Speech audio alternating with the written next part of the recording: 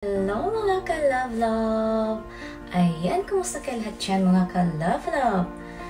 Ayan, ang akin namang isi-share ko sa inyo ngayon mga ka-love-love ay kung paano mag-insert ads manually while doing live streaming. mga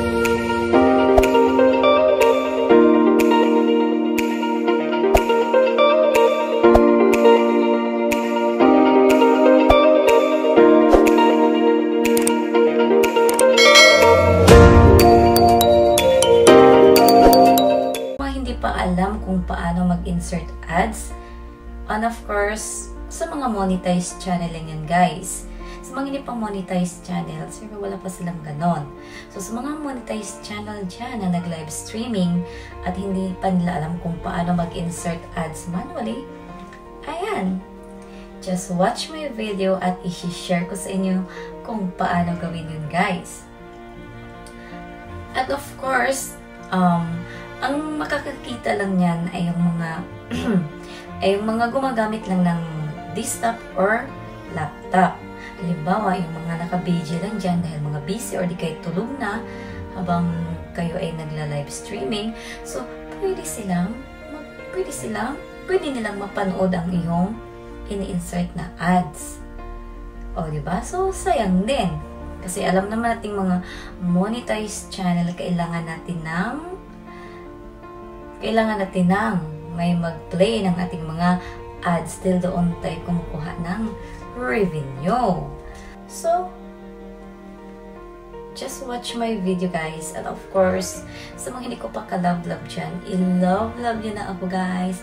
And don't forget to hit na notification bell para always kayo updated kung anong aking mga bagong i-upload na video. And please like and share my video guys.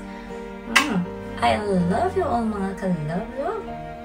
Ayan mga ka-love-love. So, mag-start na tayo kung paano tayo maglagay ng insert ads manually habang naka-live streaming para sa mga gumagamit ng laptop or desktop. Yung mga naka-BG lang dyan. Ayun, automatic. Haharangan sila kahit naka, di ba, nakatambay lang. So, ayun. Paano gawin yon? Ayun, magsisimula na tayo. Ayan, andito na. Kasi StreamYard gamit ko. Ayan, sabi sabihin, ayan, naka-live na yan. Ayan, mega shoutout sa 12 million people in the house. Ayan, ganyan na siya. Para makapunta tayo doon, para makapag-insert ads manually tayo, mag-open lang tayo ng ito, new tab. Pagkatapos, click lang natin yung, ayan, o, oh, YouTube. And then, of course, ayan, ito ako.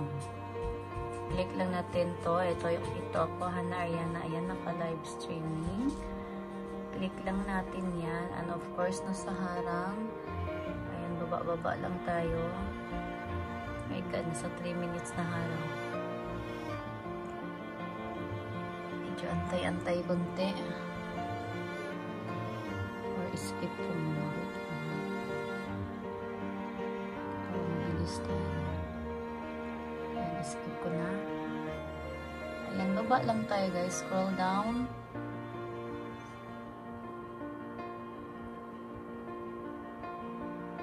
Ayan. Ayan. Ayan sa pinakababa, nakita natin yung analytics. Ayan, click lang natin yung analytics. Guys, ayan. Pagkatapos, ayan na, ayan na, ayan na.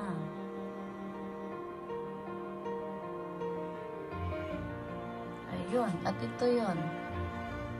Nakita natin itong dollar sign. Yan yon. Guys, ang ating i-click. Wait antay lang muna tayo. Ayan, o. Oh. So, ito. Ayan, tingnan. Pag, pag i-ano i-ano mo ang cursor dyan. Ayan, o. Oh, yung insert at tapos, ayan, click. Click. Or, kahit na din sabihin natin, ayan. Tatlong beses. Ayan. Sino yung gumagamit ng laptop? Sila yung makakakita niyan. Tapos, every minutes, pwede kang bumalik dito. Yan, click ulit yung dollar sign para magkakaharang ulit. So, ganyan lang kasimple guys.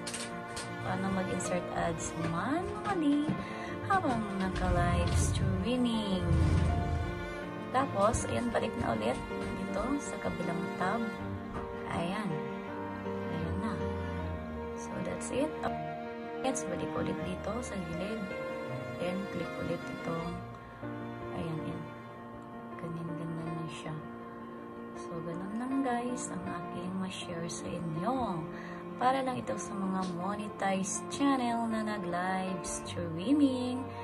Ayun. So, don't forget to like and share my video and don't forget to subscribe my channel. Bye-bye!